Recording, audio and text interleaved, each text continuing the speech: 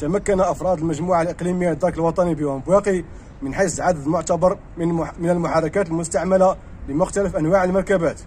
العملية نفذت ببلدية هانشيرتو مغني على مستوى الطريق البلدي الغير مرقم الرابط بين بلدية أم بواقي السعودي. استغلالا لمعلومات تفيد بنية بعض المهربين تمريض تمرير شحنة معتبرة من محركات السيارات المستعملة على متن عدة مركبات.